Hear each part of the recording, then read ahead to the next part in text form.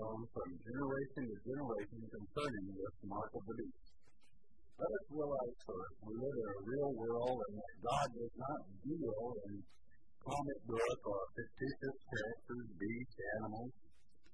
However, he does use symbols and symbology to indicate powers in the world today, saying more than is actually written. And if we look at it as animals or beasts, we miss the whole truth. I hope in this tape that we can prove who the beast is, where he will appear, and who he will appear to. If we look for a grotesque monster, monster, we're going to be deceived. You can be assured of that. So let us simplify this situation by going through the Word of God, which will always simplify everything. I ask you to go to the Bible with me, whereby you can clarify this for yourself. Let's go through the book of Revelation, which the 13th chapter deals with this situation. Chapter 13. Now, Many people state that the book of Revelation is not to be understood, but the Revelation word, the very word itself, Revelation, means to uncover or to reveal, and you are to understand it, and let us understand that. Let us begin in chapter 13, verse 1. Let us understand. And I stood upon the sand of the sea, and I saw a beast rise up out of the sea, having seven heads and ten horns, and upon his horns ten crowns and upon his head the name of blasphemy. Water in Revelation, as you will find in the 17th chapter, will symbolize people. And what he's saying is, from the peoples of the world, I observe a beast rise up. These seven heads are seven dominions, or nations, or you could even say seven continents, being powers ruled by the ten world leaders. You in other words, what we have is a one world system, or what is prophesied of many other times in the Bible, a one one worldism or a one world system. If we were to turn to the 17th chapter concerning the beast of this revelation, in 17 verse 3 we read, So he carried me away in the spirit into the wilderness, and I saw a woman sit upon a scarlet colored beast full of names and blasphemy, having seven heads and ten horns.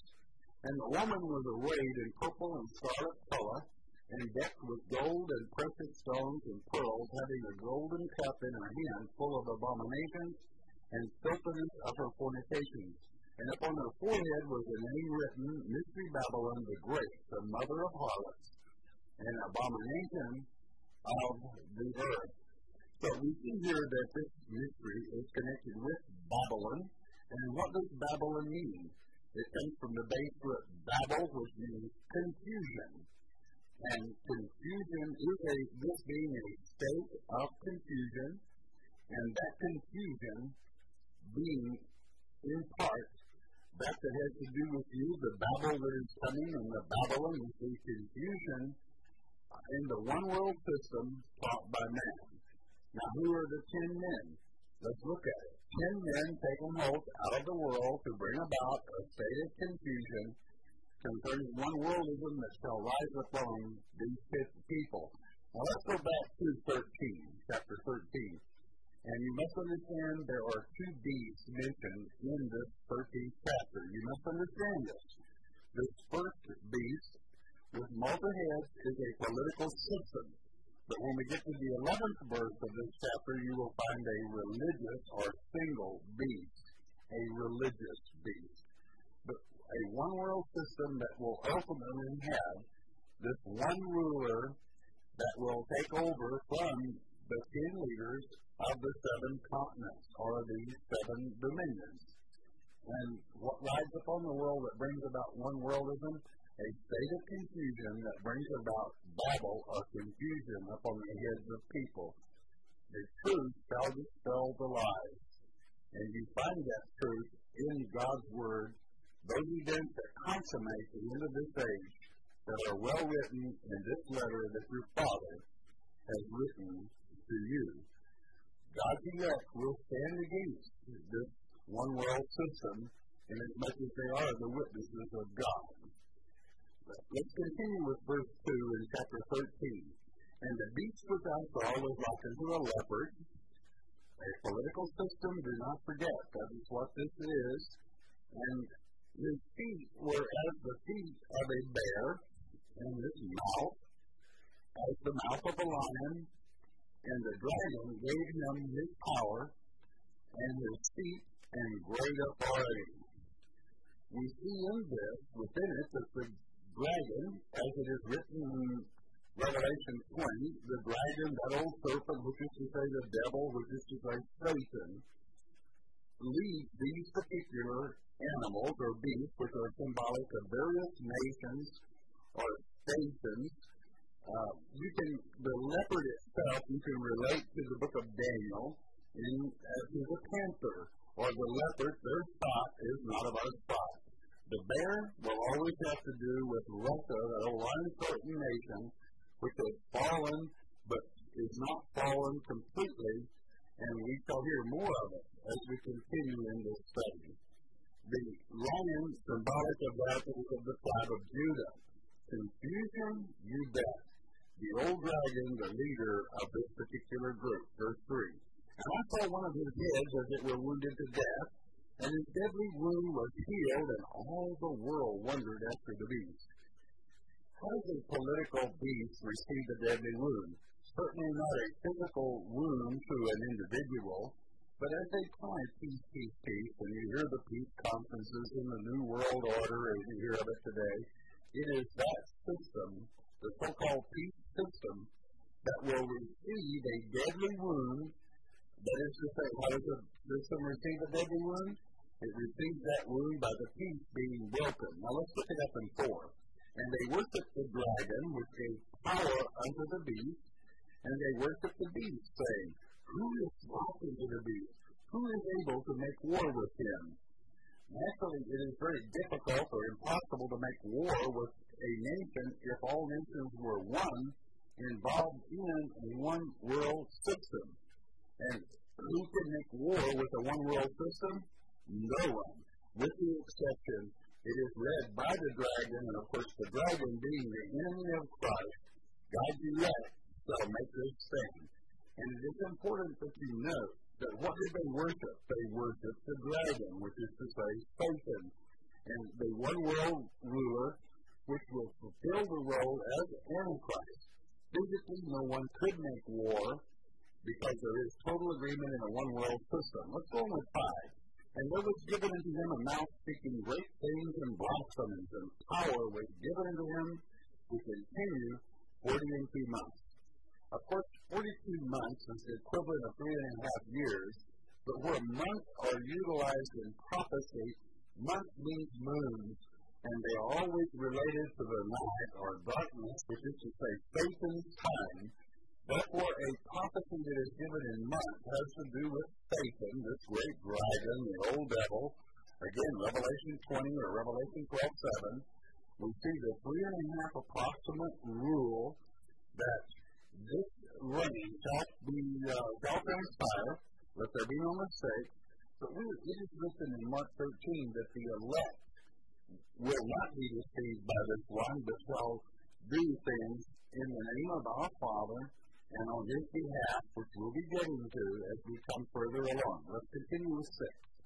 And he opened his mouth in blasphemy against God to blaspheme his name and his tabernacle and them that dwell in heaven. As he comes as instead of Jesus, which is the correct translation for Antichrist, we see that he stands in the temple of God claiming to be God. Seven. And it was given unto him to make war with the saints and to overcome them, and power was given him over all kindreds, tongues, and nations. Mark it, nations means all the world, all the world, eight. And all that dwell upon the earth shall worship him. How many? all whose names are not written in the book of life of the Lamb slain from the foundations of the world. This is a deep verse, and as much as destiny is involved, even to those that are chosen, as it is written in Ephesians, verse 1, chapter 1, rather, verse 4, chosen from the foundations of the world, but those that have a destiny, those that will serve Him. Could it be that you have a destiny there are people in this earth now who are beginning to have their eyes open, their ears open, as to what this world political situation is developing into, and they know that they do have a destiny. This conspiracy that is between Christ and Antichrist, which is to say Satan, will continue. Most of the world will be deceived. My question would be to you, will you be deceived? Will you understand the mark of the beast? Are you familiar with God's word? He wrote the letter to you. Do you love him? Then he certainly loves you.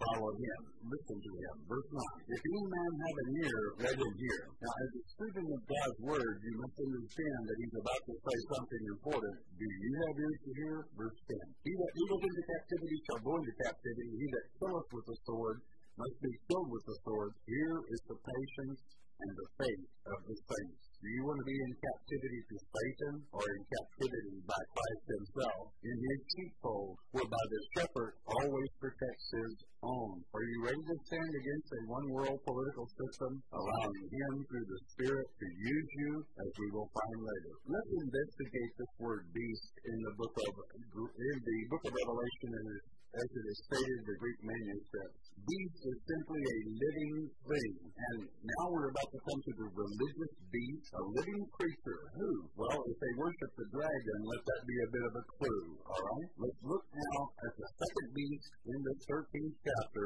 the religious beast and the deceiver. Verse 11. And I beheld another beast coming up out of the earth. And he had two horns like a lamb. That's the same. He looked like the lamb. He looked like Christ, even the slain lamb. And he spake as a dragon. So we see that we have the dragon playing the role as the Lamb of God or Messiah, and he is coming as instead of Jesus, which means Antichrist in the Greek instead of Christ. I wonder how many will be deceived at that time. We are told that most of the world will wonder, after him in his supernatural ability, claiming to be the Lamb of God, and to rapture people away. It is very important that you understand this is a political system first, then this religious beast to follow, which causes all those to follow after the false system and to worship him.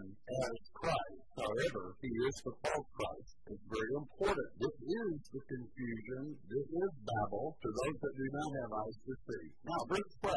And he exerciseth all the power of the first beast before him, and causeth the earth and them which dwell therein to worship the first beast whose deadly wound was healed. This means that he prospers through one world control and causes the world to become and join in on her part. Now, verse 13. And he doeth great wonders down from heaven on the earth in the sight of men, being visibly in front of them, that he will purposely worship uh, those that will uh, follow him, and by performing these miracles in their very sight, they will see that uh, if, if people today will worship, worship a rock star practically, when we see a supernatural being that can snap his fingers and make fire come from heaven on the earth and in the sight of men, that with these miracles many will be deceived.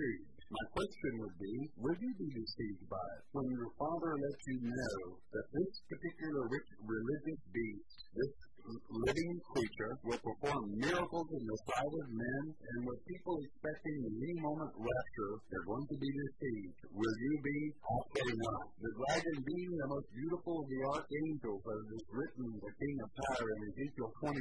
Listen now to 14. And deceiveth them that dwell on the earth by the means of those miracles which he had power to do in the sight of the beast, that's the political system, saying to them that dwell on the earth that they should make an image to the beast which had the wound by sword and did live. That they should make an image of this one world political system. And anytime you see an image, even on television, with world coverage of a one world political system that brings peace and prosperity led by this religious beast.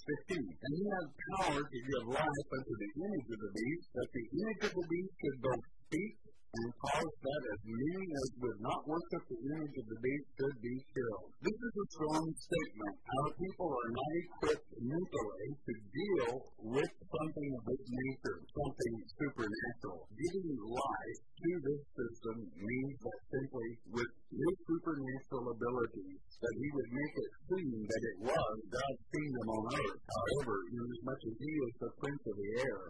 It is his kingdom on earth that only God allows, deceiving as many as would. Now, 16. And he causeth all, both small and great, rich and poor, free and bond, to receive a mark in their right hand or in their forehead. Let's look at this very closely. Let's look back at what is commonly taught back as the mark of the beast, the barcode, 666 tattooed on the forehead. This would deceive no one. It clearly stipulates here that this is in the forehead. What is in your forehead? Your brain, your thinking process, your mind. Be sure and use your mind to make certain that you are not deceived in this end time. These that are expecting the so-called beast to insist you wear something on your forehead, that would deceive no one. Every Christian would recognize 666 and run from it. Now, in the forehead, a world religious system able to perform supernatural acts in the front and side of men. What about you? Will you be deceived? Again, I pray not. Don't be carried away in the great apostasy. Stand for the true Christ, for his word that he has warned you here. It is not a tattoo. It is not a mark. It is your mind cause, causing you to worship someone else. Listen carefully. 17. And that no man might buy or sell, save he that had the mark, or the name of the beast, or the number of his name. Just before the end, it will become difficult, for perhaps, for some to buy or sell, but the penalty is, will you worship the false one? If you, can, if, if you cannot receive food or anything else other than by worshiping Him, then know that our shepherd is able. He will always take care of us. God has stated, touch not mine elect, touch not mine anointed. How strong is your faith? Quite simply, He can take care of you wherever you are. Verse 18, listen carefully. Here is wisdom, that one that hath understanding count the number of the beast, for it is the number of a man. I said a man, not some grotesque monster, not some comic book figure, but a man. And his number is 600, three score, and six. We'll be coming back to the 18th verse to explain in detail this man. The word count in the Greek here is means to count by numerating stones over a long period of time. This mark was, was present for many years. Are you familiar with it? We're going to take a deep look at it before we come back to this verse. What we're looking at is not some monster with seven heads and ten horns, but a religious leader over a world system deceiving people into thinking that he is Christ himself. Again, would you be deceived? I think not. Now we're going to go to the epistles of John at this time to teach, if we may, from God's Word, how that you can discern the spirits. According to the first epistle of John, and as you have heard, Antichrist shall come. Well, let's see what John has to say about it. The first epistle of John, think you have so tenderly. The first epistle of John, chapter 2, verse 18. Little children, it is the last time. And as you have heard that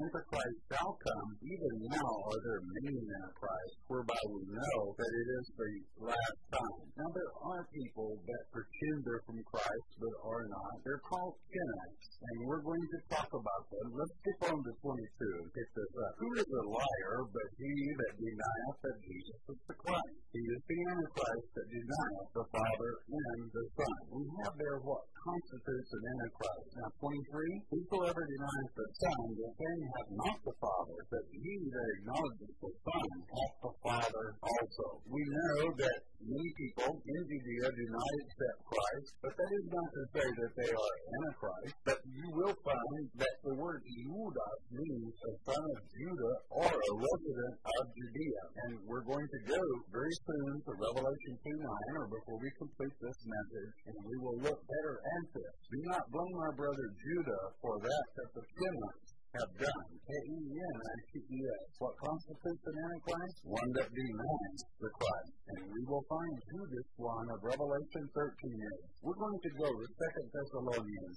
chapter 2. Paul is speaking very clearly here, and um, it's easy to follow. Don't read something into it. Try to do away as best you can with what you might have heard from man.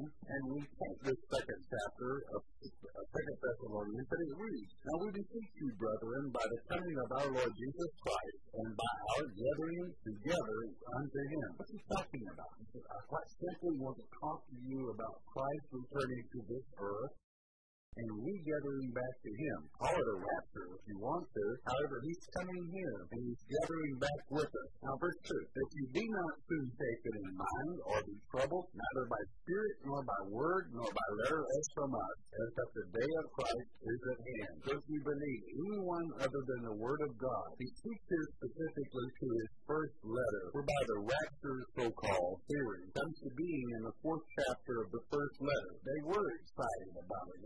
Writing again saying, don't be upset by it. Verse 3 gives the answer. Let's read it. Let no man deceive you by any means, for that day shall not come except there come a falling away first. This falling away is the apostasy, or the the confusion brought on by Babel. It must come first before we gather back to Christ. And that man, not a beast system, but a man of sin, be revealed, the son of perdition. This perdition, the sin of the world? No way. Apoleia is what the word is in the Greek, and it's one of the base roots of Satan's name and there is only one son that has been pr- pronounced already to perdition, which is to say to perish, and that is Satan himself. Meaning what? Christ will not return, and don't let any letter or any spirit deceive you. He will not return to this earth until this son of perdition, the son that perishes, appears on earth first. How about you? Will you be deceived? Verse 4.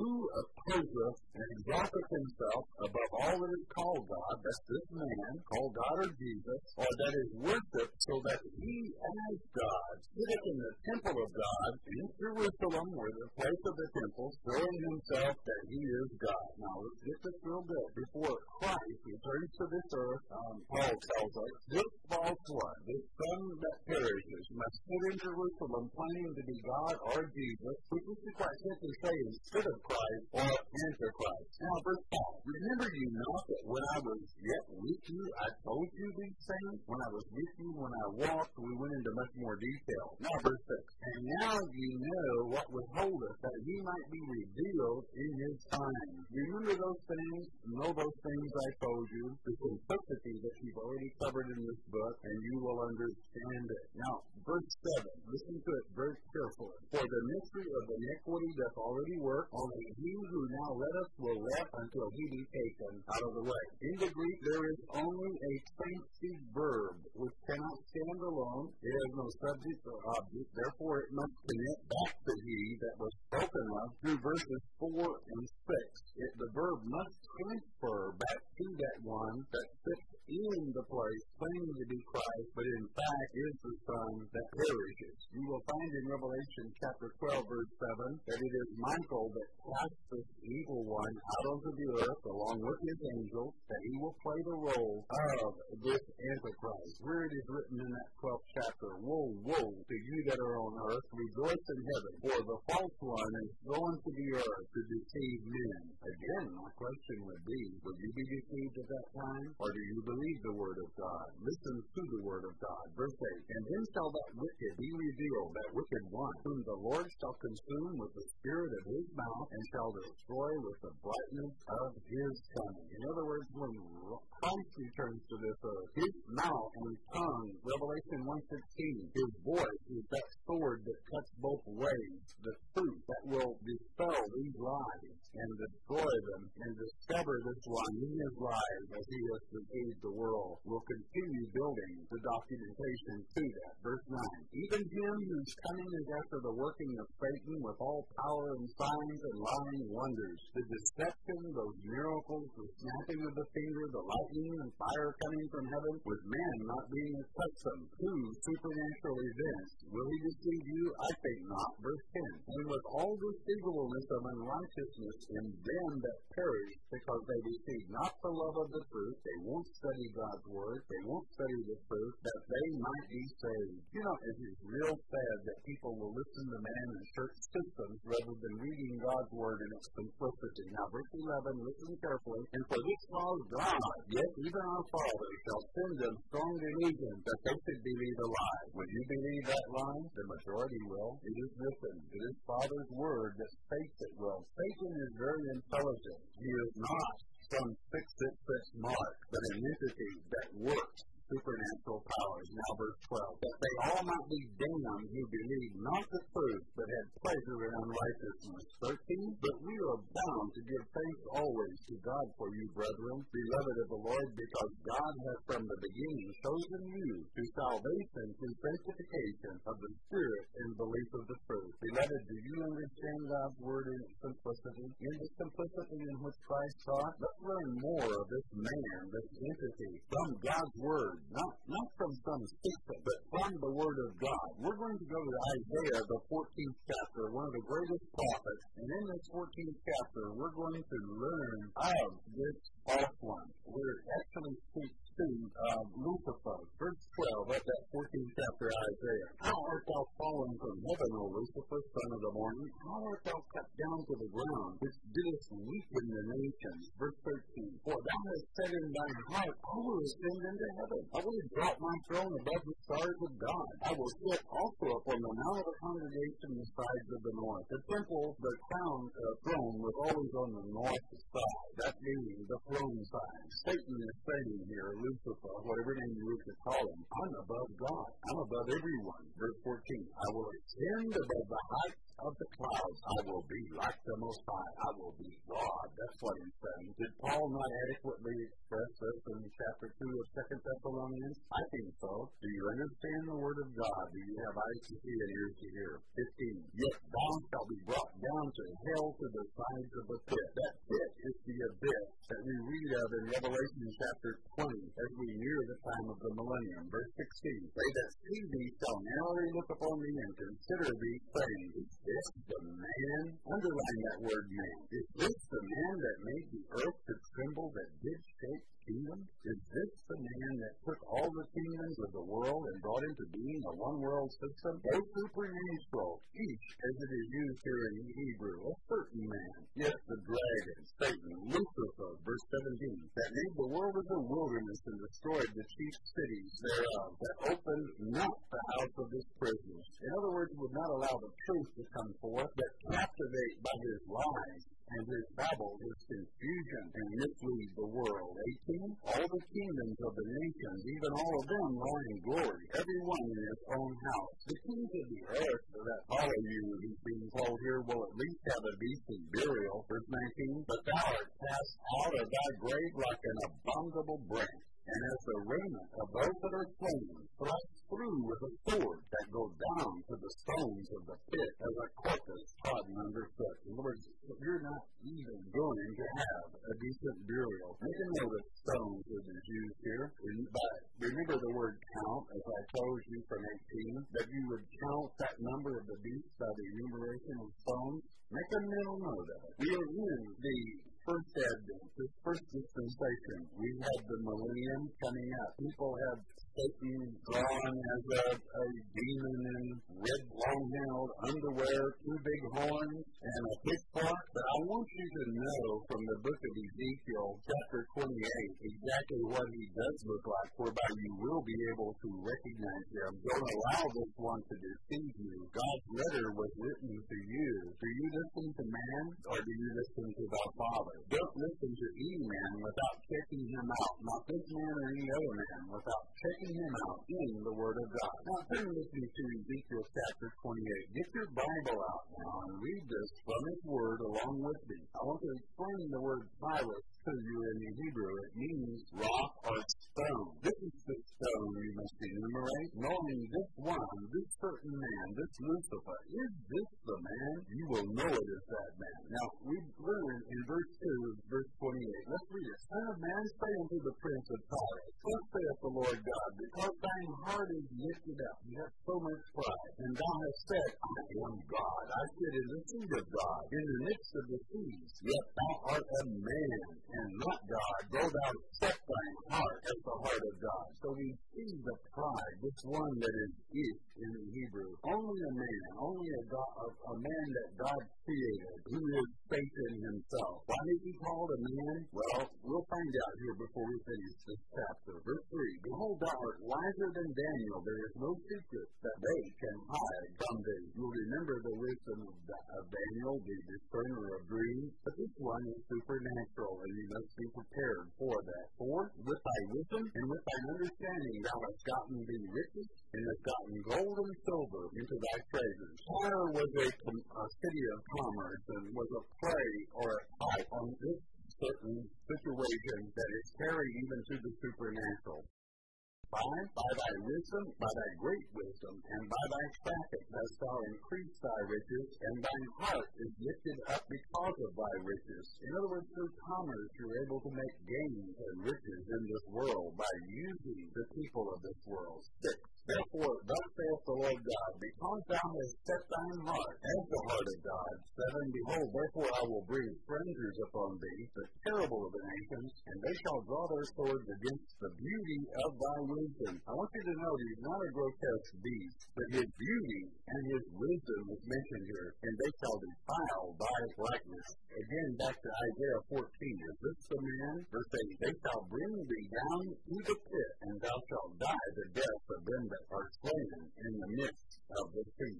9, Wilt thou yet say before him that slayeth thee, I am God, but thou shalt be a man and no God in the hand of him that slayeth thee. Jesus Christ, the one with that sword of truth, will destroy his lies. And as Christ himself stated in Hebrews chapter 14, chapter 2 of in the book of Hebrews, chapter 2, verse 14, I came to this earth in the flesh to destroy the death, which is to say, the devil. Verse 10, Thou shalt die the death of the uncircumcised by the hand of strangers, for I have spoken it, saith the Lord. And we see that he will die. As a matter of fact, we'll see in this chapter he's already been sentenced to death. 11. Moreover, the word of the Lord came unto me, saying, Well, son of man, take up a lamentation upon the king of Tyrus, and say unto him, Thus saith the Lord God, Thou seest up the son, full of wisdom and perfect in beauty. Now what this does, we're going now before he was the prince, he was the king, he was demoted, and we see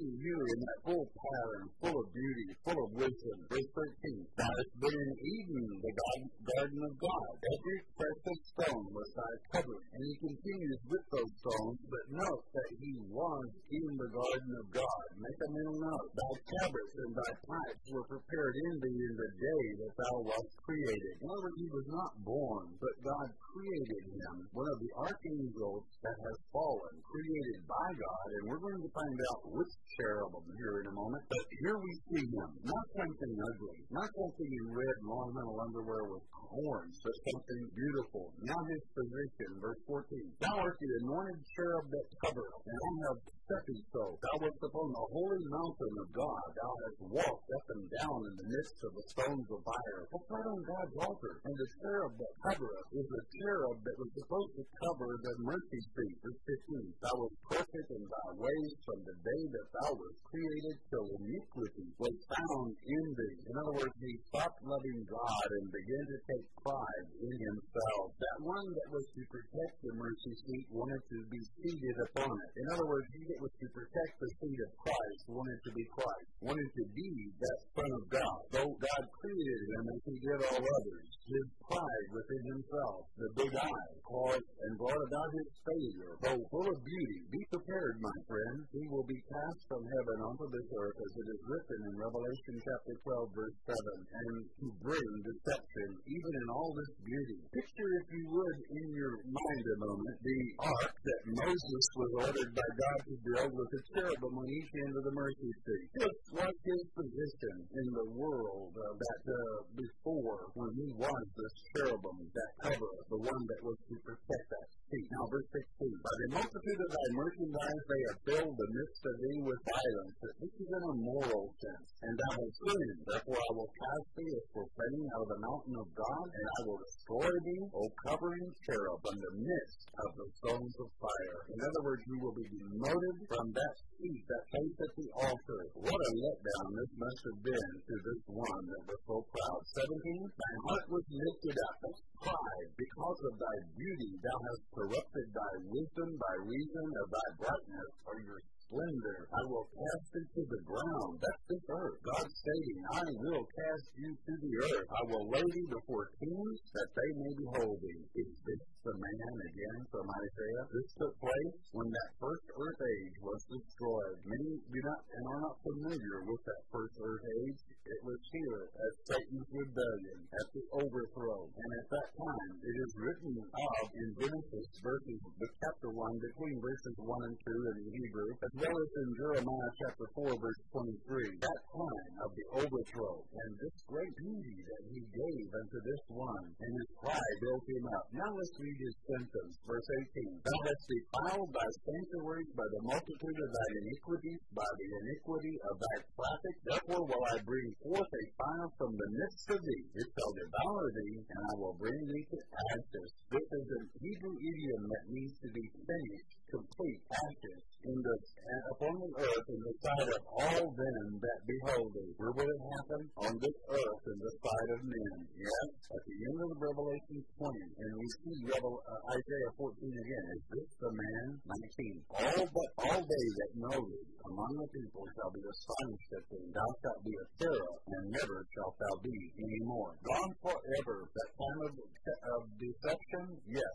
for those that can be lied to, those that will allow themselves to be deceived. My question again, would you be deceived or do you understand the Word of God? That old dragon, Lucifer, whatever title or name you wish to call him by, that play actor that wants again to move to that seat that seat with the Messianic connotation, the mercy seat. He will come as the instead of Christ or as some call Antichrist. And with that wisdom, he will be able to deceive, and he will be able to bring that deception upon many. Spirit, not you. It's simply this one filling the role of Antichrist in the very sight of man upon this earth. Many think that they're going to be thrown away first. They will not. Satan appearing on this earth. And we see then that deception as it comes to its fulfillment. In Romans chapter 11, it states there that God has set aside 7,000 that shall not bow a knee to this one in his deception, and that they will be a witness. Do you have a destiny? Do you have a purpose? Have you known there was more to God's Word, that to God's Word, than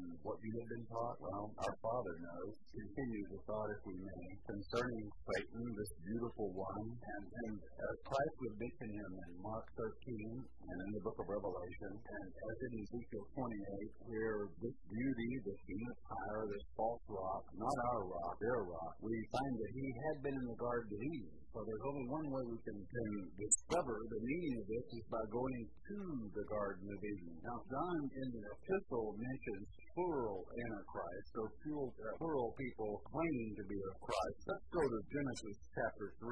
Let's go to the garden. Let's find the root. Let's pick it up there from the Word of God. Chapter 3, verse 1 reads, Now the serpent was more subtle than any beast of the field which the Lord God had made. And he said unto the woman, Yea, has God said, You shall not eat of every tree of the garden? Now, the serpent, of course, means the glistening one. And serpent, the serpent is called that old dragon, which is to say the devil in Revelation chapter 20. And in telling the woman, Shall you not eat of every tree of the garden? As you know, God had stated, You shall not touch the tree of the knowledge of good and evil. The other trees they could partake of. And this is the woman's answer. And the woman said unto the serpent, We may eat of the fruit of the trees of the garden, let's just say apples, plums, oranges, this sort of thing. Verse 3. But of the fruit of the tree, the tree, meaning a specific tree, which is in the midst of the garden, God has said, You shall not eat of it, neither shall ye touch it, lest ye die. Let's go break this back to the Hebrew for a moment, if we may. The word tree, as it is utilized in verse uh,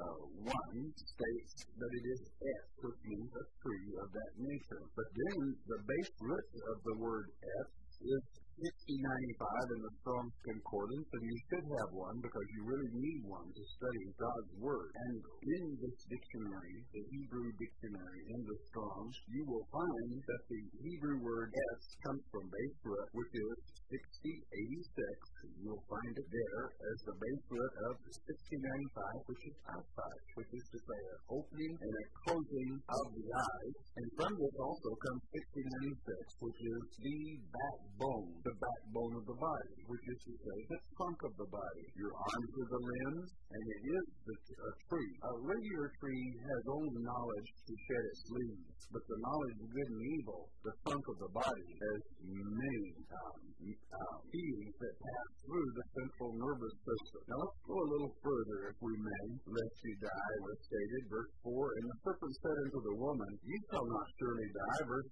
5 For God doth know that in the day ye eat thereof, then your eyes shall be opened, and ye shall be as gods, knowing good and evil. In enlightenment. Yes. And here you have the Hebrew word, which is the base, an opening or a closing of the eyes. And we have something here that is not complete as we read from the English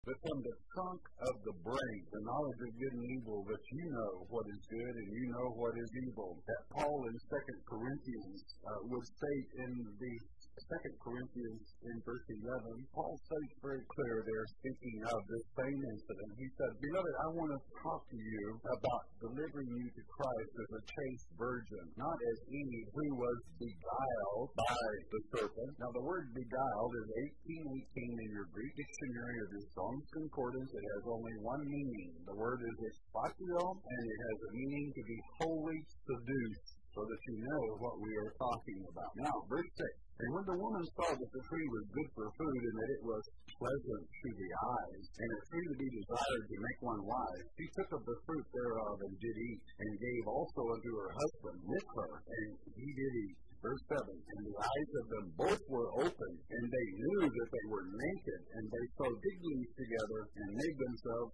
aprons. Now, naga, the word touch in verse 3, has more than one meaning, but it means to lie with a woman, to be more specific. Why would they know they were naked if they had eaten an apple? Open your minds. And fig leaves, this is part of the parable of the fig tree that Christ said, not maybe you should know, but that you should learn the parable of the fig tree. And here the mark goes all the way back stone worn smooth over a long period of time. We come back to this same big grove. Verse 8. And they heard the voice of the Lord God walking in the garden in the cool of the day, and Adam and his wife hid themselves from the presence of the Lord God amongst the trees of the garden. 9. And the Lord God called unto Adam and said unto him, Where art thou? Verse 10. And he said, I heard thy voice in the garden, and I was afraid because I was naked, and I hid myself. Verse 11. And he said, Who told thee thou wast naked? Hast thou eaten of the tree? Tree whereof I commanded thee that thou shouldest not eat? In other words, God knew, of course, what had happened, that they had partaken of this tree. It had opened their eyes, their backbone, so to speak. If you check the Hebrew out, was involved within this. And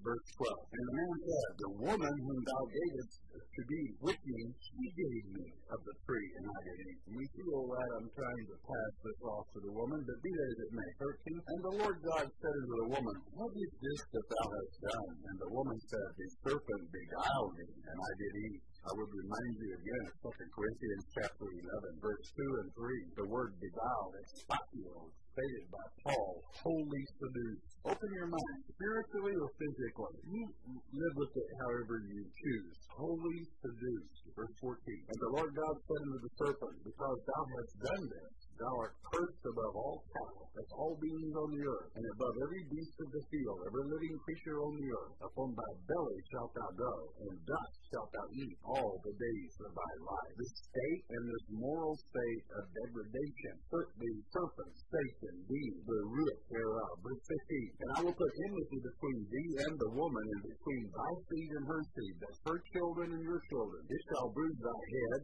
and thou shalt bruise his heel. The bruising of the heel has to do with Christ being nailed to the cross. The bruising of Satan's head is, is, has, in if you would, Satan's final defeat and his sentence to be uh, turned to ashes from within. Now, be realistic. Her seed and his seed. This speaks of a child, if you would. And in Mark 13, and rather in Matthew 13, God gives a parable concerning the sower, the seed, if you would, that was sown by the wicked one. We'll be going there perhaps in a moment, but bear that in mind. What are we talking about? And what did he say to the woman? We were talking about eating an apple. I haven't seen the word apple so far. 16. Unto the woman he said, I will greatly multiply thy sorrow in thy conception. Conception. In sorrow thou shalt bring forth children, and thy desire shall be to thy husband, and he shall rule over thee. We find as the, this chapter continues, I wanted to sin brought forth this conception. As this chapter continues on, we have the tree of life that is brought into existence. The tree of life, as it is written in Revelation 22, is none other than Christ himself. It was not yet time for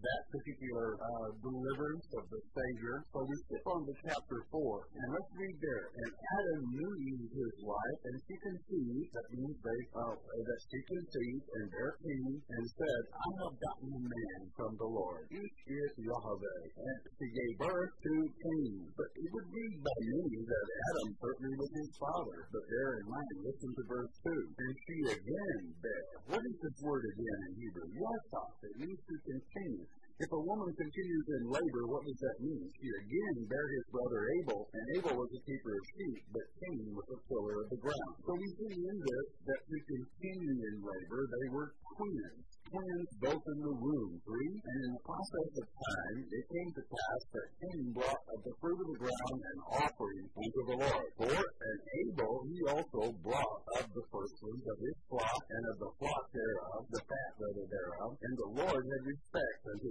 Abel and to his offering. It is important that you note that Cain and Abel were twins inasmuch as much as they matured and brought their offerings at the same time. That they were fraternal twins, not identical twins, but twins symptoms of second pregnancies. Many do not realize that this happens. Talk to your doctor. Talk to your medical doctor, and he will make this clear. Verse 5, But in pertaining to his offering, he had no respect, and Cain was very wroth, and his countenance fell. And the Lord said unto Cain, Why art thou wroth, and why is thy countenance fallen? And it continues on that he murders his brother, and the father asks him, and when thou, he, when, and the Lord, let's go down to verse 9. And the Lord said unto Cain, where is that Abel, thy brother? And he said, I know not. Am I my brother's keeper? And he said, What hast thou done? The voice of thy brother's blood cries unto me from the ground. And now art thou cursed from the earth, which has opened her mouth to receive thy brother's blood from thy hand. So we see that first murderer. When thou fillest the ground, it shall not henceforth yield unto thee her strength. The fugitive and a vagabond shall thou be in the earth. Now we come to this mark in counting how to understand the mark of the beast. 13. And Cain said unto the Lord, My punishment is greater than I can bear. 14.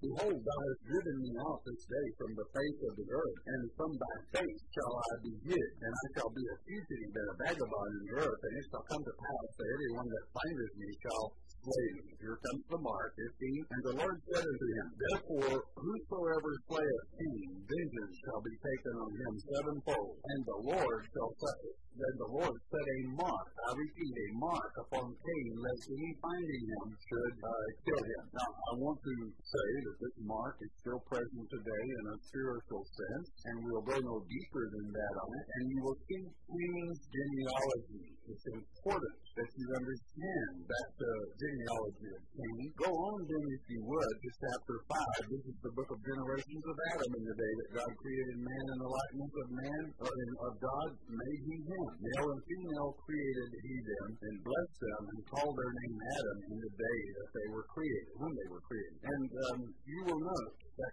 Adam's first offspring, the cause of Abel's death, was Seth. You do not find Cain. Do not find Cain listed in that genealogy. Now, let's go back to this garden again, if we may. I'm going to turn at this time to the book of Ezekiel. We're going to go to chapter uh, 31, and I want to read here, if I may, verse 1 of 31, book of Ezekiel. And it came to pass in the eleventh year, in the third month, in the first day of the month, that the word of the Lord came unto me, saying, Son of man, speak unto Pharaoh, king of Egypt, and to his multitude, whom art thou like in thy greatness? He's asking Pharaoh here, who do you think you're like? And verse 3, Behold, the Assyrian was a cedar in Lebanon. This word Assyrian is bot singular in the Hebrew. Assyrian has no article in the garden, but meaning facing. Alright? And um, we uh, see this and we see from this at Ginsburg, uh, and I agree with him, that this is Asher, Asher in the Hebrew, which is to say,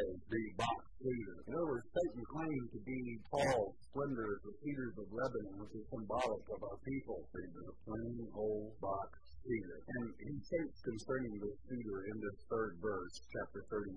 Behold, the Assyrian was a cedar in Lebanon with fair branches and with a shadowing proud and, and of an high stature, and his top was among the boughs. The waters made him great, the deep set him up on high, with her rivers running round about his plain, and set out her little rivers into all the trees of the field. And you continue on then, if you would, and down to um, verse 7. Thus was he fair in his greatness and the length of his branches, for his root was by great waters. This is none other, you figure it out yourself, verse 8. The cedars in the garden of God, and this is Eden, the garden of Eden, could not hide him. The fir trees were not like his boughs, the chestnut trees were not like his branches, nor any tree in the garden of God was like unto him in his beauty. Again, that one that God made the full pattern, full of beauty. Nine, I have made him fair by the multitude of his branches, so that all the trees of Eden, these trees symbolic of people, the backbone, the tree of knowledge you could not take of, this box cedar, Satan, the trees of Eden that were in the garden of God envied him. Therefore, thus saith the Lord God, because thou hast lifted up thyself in height, and he hath shot up his top among the thick boughs, and his heart is lifted up in his sight. I have therefore delivered him into the hand of the mighty one of the heathen. That's to say, the nations, properly translated. He shall surely deal with him. I have driven him out for his wickedness. It was at that time that Satan was demoted, as we read in the book of Ezekiel, from the king of Tyre to the prince of Tyre. So remain for a moment to Genesis 6, following the genealogy of Adam as it was given and we find that in Nephilim, which is a Hebrew word that means the fallen angels came. Chapter 6, verse 1 of Genesis, said it came to pass when men began to multiply on the face of the earth and daughters were born unto them, verse 2, that the sons of God, that's these Nephilim, saw the daughters of men that they were fair, and they took them wives of all which they chose. Now let there be no doubt as to why a man takes a wife, because um, and God continues in verse 3 And the Lord said, My spirit shall not always strive with man, for that he also is flesh, yet his days shall be an hundred and twenty years. In other words, God had created the flesh body as he had Adam and placed the soul within it. Verse 4 There were giants in the earth in those days, and also after that, when the sons of God came in unto the daughters of men, and they bare children to them, the same became mighty men which were of old men of renown. Now, know this. God's plan was that Christ would come through the woman's seed. Therefore, his heels bruised the certain head, the purpose head, destroyed. And you might say, some will say, how did Cain go through this flood and how did all these things come to pass?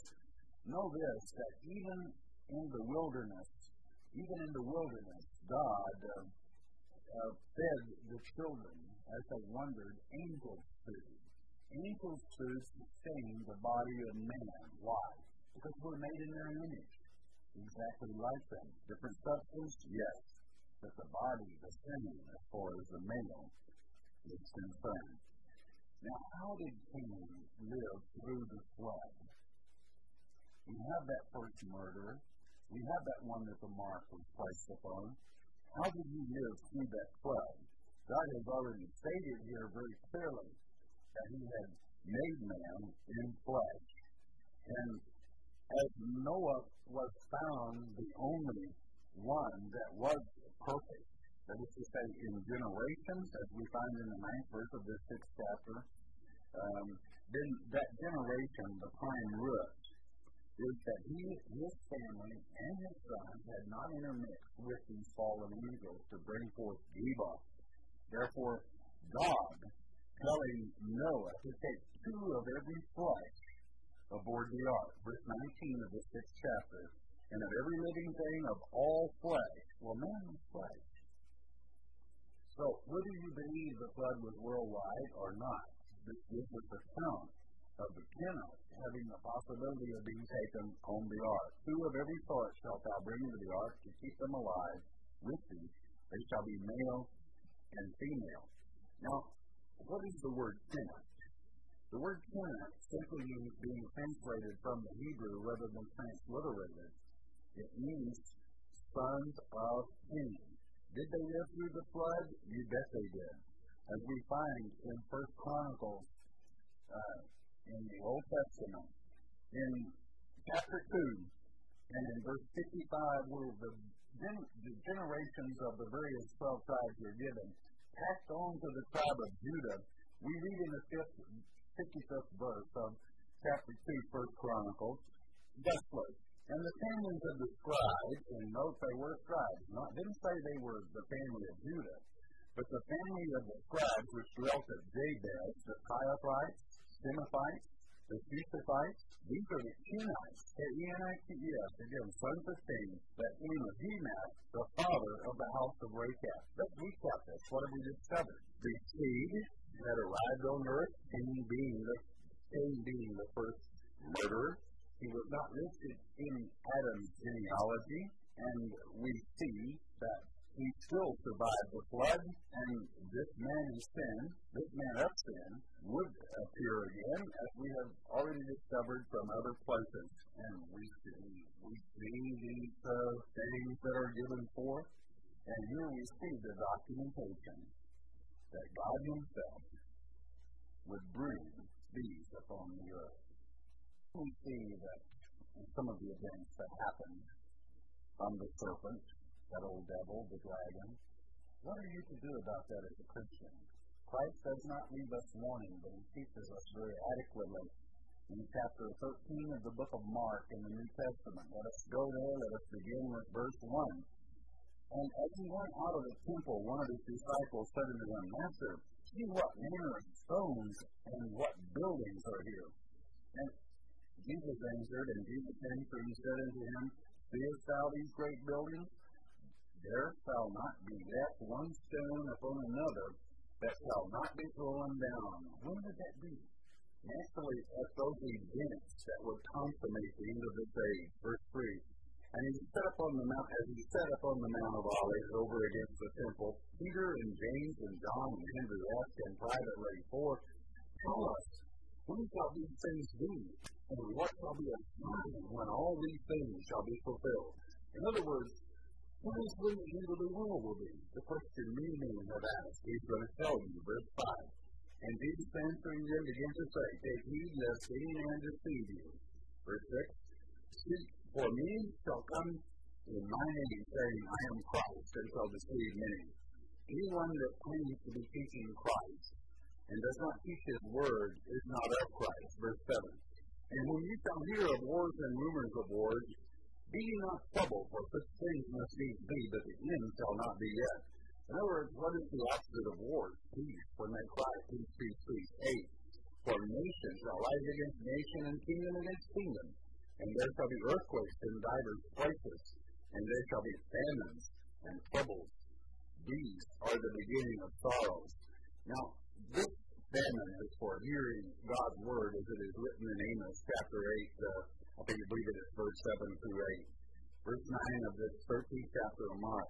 But take heed to yourselves, Christ warning you, beloved, for they shall deliver you up to councils of Sanhedrins. And in the synagogues you shall be beaten, and you shall be brought before rulers and kings for my sake, for a testimony against them. In other words, delivered up before the false Messiah because you would not uh, receive him. Verse 10 And the gospel must first be published among all nations. And here we have the gospel being published through God's elect, those that are delivered up, being given a trial at this great conversion, if you would, in this synagogue. Verse 11 that when they shall lead you and deliver you up, take no thought beforehand what you shall speak, neither do you premeditate. But whatsoever shall be given you in that hour, that speak ye, for it is not ye that speak, but the Holy Ghost, or the Holy Spirit. This is Christ speaking through you. This is that on that day of Pentecost, when they spoke, an example of this that would come, that God Himself, through the Spirit, when you're delivered up, will speak for you. Verse 12 Now the brother shall betray the brother to death, and the father the son, and children shall rise up against their parents, and shall cause them to be put to death. Now think about this, beloved. A parent's not going to deliver a child to death, nor vice versa, but Satan is death. That is his name. Hebrews chapter 2, verse 14. And if someone of your relatives believes that he is Jesus, They will go to him and say, My son is a good son, or my daughter is a good daughter, my mother is a good Christian, or my father is a good Christian. Please be patient with them and convert them, thinking they were doing well. And in this method are God's elect delivered up for a witness for Jesus Christ. 13. And you shall be hated of all men for my name's sake, but he that shall endure unto the end, the same shall be saved. And certainly they shall be. Verse 14.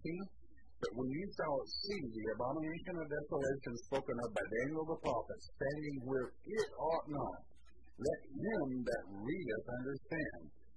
Then let them that be in Judea flee to the mountains.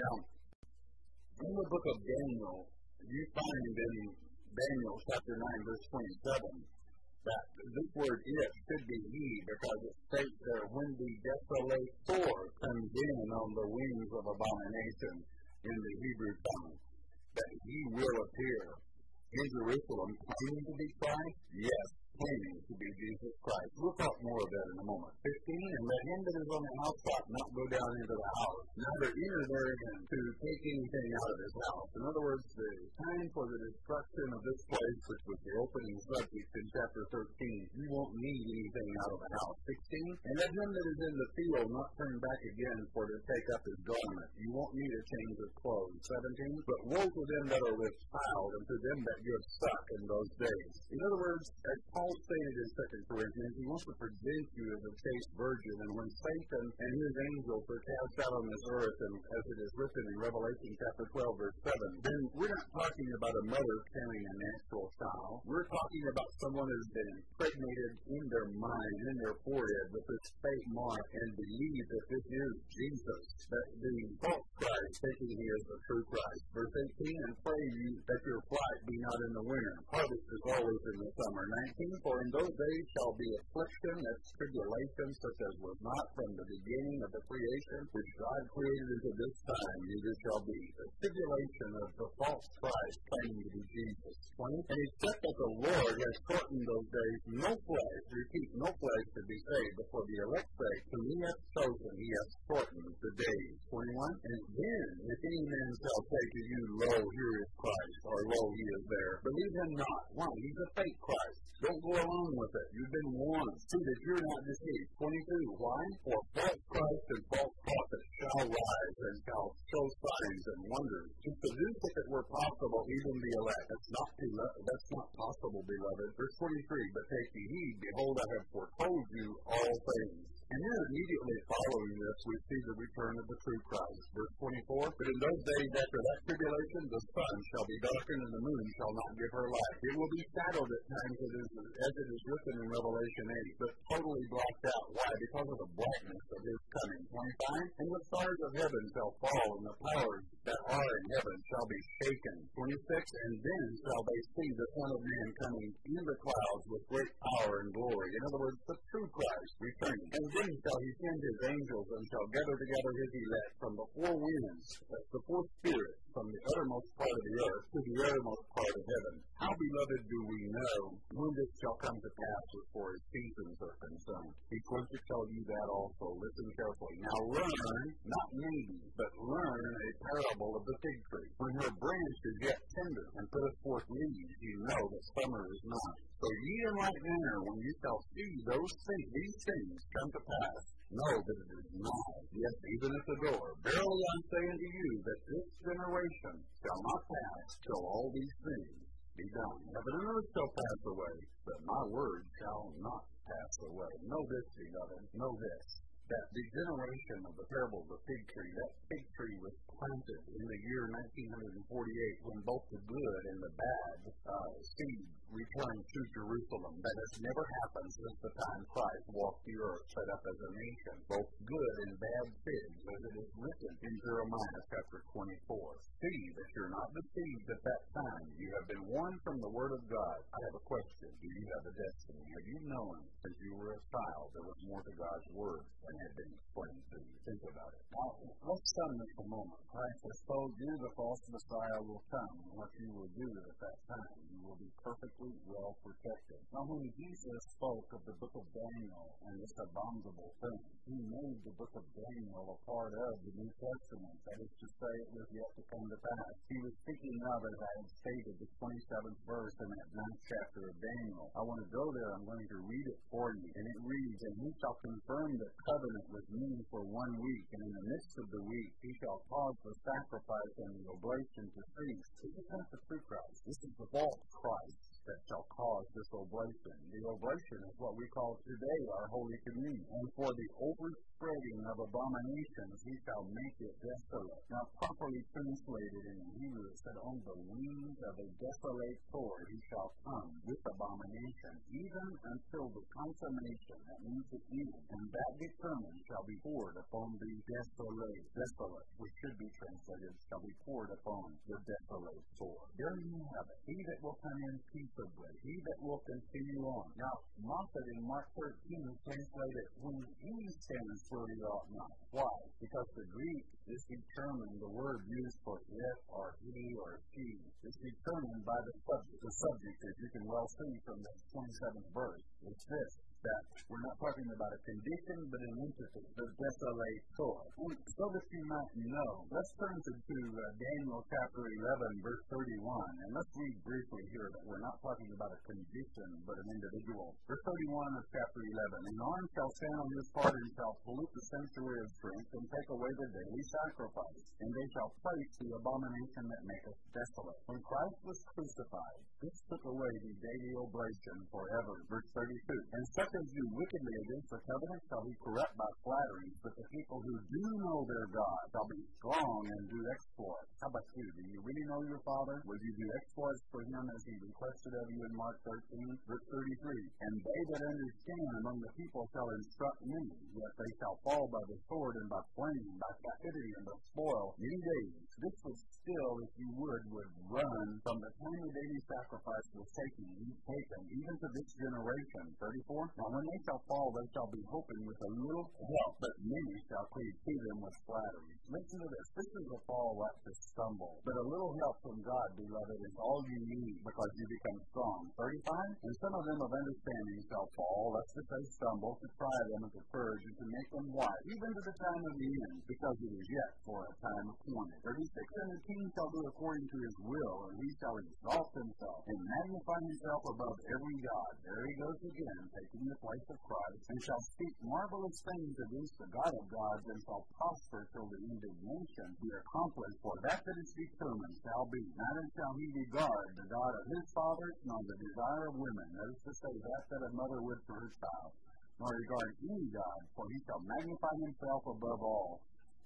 But in his estate shall he honor the God of forces, and a God whom his fathers knew not, while he uh, shall he honor with gold and silver and with precious stones and, and precious um, pleasant things. Now let's go all the way to the last verse. And he shall plant the tabernacle of his palace between the seas and the glorious holy mountain. That's Mount Zion, Jerusalem. Yet he shall come to his end, and none shall help him. And what do we analyze? We have found that he appears in Judea, as stated in Mark 13, on Mount Zion, claiming to be Christ. We have found out approximately when the generation, if you would, of the good and bad fig tree passes by. How long is this generation? From 1948, a 40 year generation, a 70 generation, 120 year generation. No one knows. But we do know the season because God has made it available for us to know and to understand. Do you? Do you understand what happened in the garden? We're going to turn to Matthew 23 to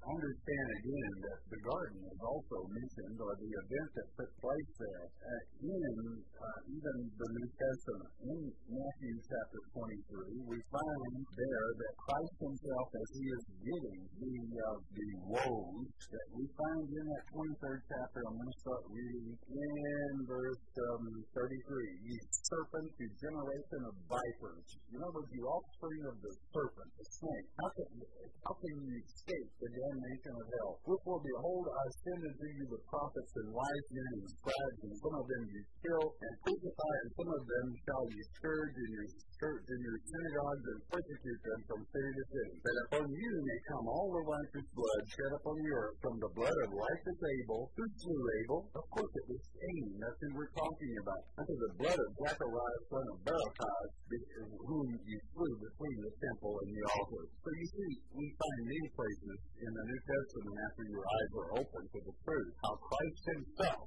speaks of the seed of Cain planted upon the earth. Is it any wonder that God placed this mark? The mark of deception, even if you would, the mark called, um, even if you would, the mark of the beast. But understand, it is that you are not to worship him, but to stay loyal, stay a virgin to the true Christ in a spiritual sense that you might understand. I want to go to the 13th chapter of Mark concerning the parable of the tares. If you don't understand this parable, Christ said you wouldn't understand any of his uh, parables. Therefore, it is imperative that you understand this 13th um, chapter of Matthew where he speaks of this parable. And he explains it in verse 24 The kingdom of heaven is like unto a man who sowed good seed in his But while men slept, his enemy came and sowed tares among the wheat and went his way. Now, tares are the wine in the Greek, and it looks like wheat when it's growing, but it comes forth with a bitter seed. But when the blade was sprung up and brought forth fruit, then appeared then appeared the tares also. You could tell the difference between the wheat. Now, in the 36th verse and 7th, Jesus is explaining here, if you would, not the heirs, but the fact that he's explaining the parable whereby anyone might understand it. They ask him, verse 36, when Jesus sent the multitude away and went into the house, and his disciples came to him, saying, Declare unto us the parable of the tares of the field. 37, he answered and said unto them, He that sowed the good seed is the Son of Man. The field is the world. You understand that? The good seed, Adam and Eve, and those people created on the sixth day. The field is the world. The good seed are the children, I repeat, children, not wheat, not the wine, but the children of the kingdom. But the tares are the children of the wicked one. Do you know who the wicked one is? Me make it clear then. 39. The enemy that sowed them is the devil. The harvest is the end of the world, and the reapers are the angels. So here again we see that event that happened in the garden, that wicked seed that was planted that would bruise the heel, if you would, of he that would be Messiah. In his crucifixion, but then Messiah in turn would destroy even that wicked one. I want to go to another place to nail down the seed, if you would, of Cain. John chapter 8. I want to pick it up here where Christ is speaking, if you would, and teaching concerning the children of Abraham. For there were those that claimed to be of our brother Judah and did lie, but were the children of the devil. And Jesus knew this. They claimed to be children of Abraham. He said, I know you're children of Abraham. Why? The word Abraham in the Hebrew means the father of many nations. In other words, through Abraham would come Christ, and Christ would be a blessing to all nations. Christ declared that in verse 37, knowing this. And they continue on and get a little nervous. And in verse uh, 39, they states, uh, they answered and said unto him, Abraham is our father. And Jesus said unto them, If you were Abraham's children, you would do the works of Abraham. But now you seek to kill me, a man that hath told you the truth which I have heard of God. This did not Abraham. You do the deeds of your father. Note the small s, not our father, their father, higher. Then said they to him, We be we be not born of fornication. We have one Father, even God. Jesus said unto them, If God were your Father, you would love me. For I proceeded forth and came from God. Neither came I of myself, but he sent me. Why do you not understand my speech? Even because you cannot hear my word. Listen carefully. Verse 44 of the 8th chapter of St. John. Ye are of your father the devil, and the lust lust of your father you will do. He was a murderer from the beginning. Again, who was the first murderer? You know, we read it from our father's word. And abode not in the truth, because there is no truth in him. When he speaketh a lie, he speaketh of his own, for he is a liar and the father of it. And because I tell you the truth, you believe me not. Which of you convinceth me of sin? Christ was perfect. And if I say the truth, why do you not believe me? Listen, this is from the mouth of Christ. He that is of God heareth God's words. Ye therefore hear them not, because ye are not of God. So there you have it, beloved. There you have the truth from the word, the words of Jesus Christ. Do you have ears to hear? Will you be distinct? Do you have a destiny? To go with me, I told you in Mark 13 that Christ had shortened the time.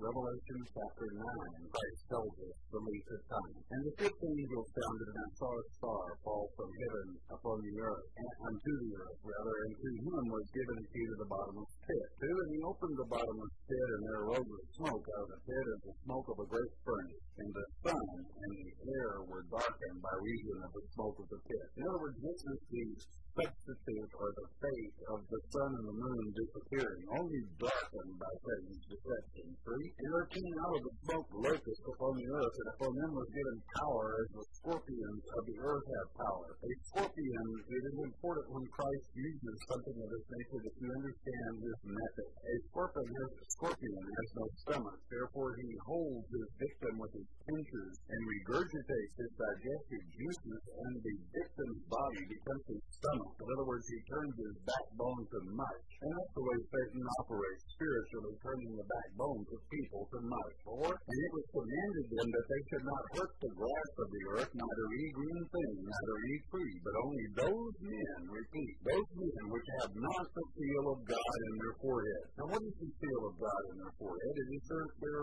truth, the truth of God's word in their forehead, rather than the lies and the deception of Babel or Babylon. Five, and to them it was given that they should not kill them, but that they should be tormented five months. There you have it, five months rather than three and a half years. And their torment was as the torment of a scorpion, which he, when he striketh a man. And in those days shall men seek death, and shall not find it, and shall desire to die, and death shall flee from them. When they see the true Christ coming, they will be ashamed to face him. And the seats of the locusts were like unto horses prepared unto battle, and on their heads were as it were crowns like gold, and their faces were as the faces of men. In other words, we're not dealing with locusts, we're dealing with men. We're dealing with those fallen angels. We're dealing with the serpent. We're dealing with the Antichrist, the false Jesus.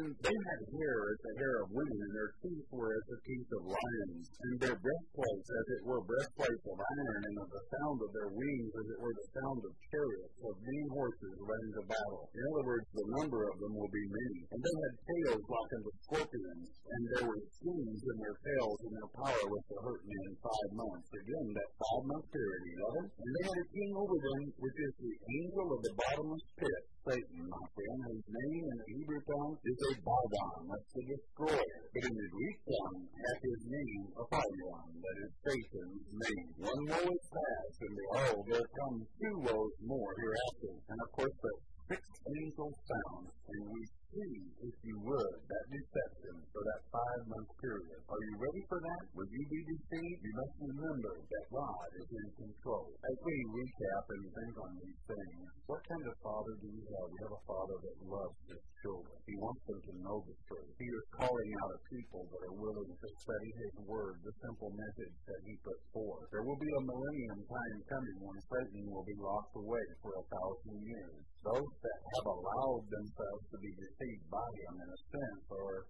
their innocence for any sin committed in ignorance is no sin. But that does not mean that they're going to heaven necessarily, but God will set aside a time that is called the millennium. We find that in the 20th chapter. I want to complete this day by going there. 20th chapter, verse 1, and I saw an angel come down from heaven, having the key to the bottomless pit with a great chain in his hand. And he laid hold on the dragon, that old serpent, and is the devil, and Satan, and bound him a thousand years. That's the millennium, beloved. And cast him into the bottomless pit, and shut him up, and set a seal on him that he should deceive the nations no more, till the thousand years should be fulfilled. And after that he must be loosed a little season. I saw thrones, and they that sat upon them, and judgment was given unto them. And I saw the souls of them which were beheaded for the witness of Jesus and the word of God, and which had not worshipped the beast. This is those who have passed on in the past that were beheaded, crucified, and even you in this end time, not killed, but witnessing, refusing to receive that mark in their foreheads or in their hands, and they lived and reigned with Christ a thousand years. What is running? It's teaching. But the rest of the dead lived not again until the thousand years were finished. This is the first resurrection. You will take part in the first resurrection if you have the truth, but the others must wait until Satan is released, as you will find in this chapter, a short season. Well, we're going to wrap this case up at this time. Do you want to study further in God's Word? Then continue studying. If this has been a blessing to you, then order more tapes from the various subjects for beginners that will take you deeper into God's Word. Will you reign with Him, teach Him with Him? He will help you. He is your shepherd. And you know something? He loves you very much. Do not be deceived. You have a destiny.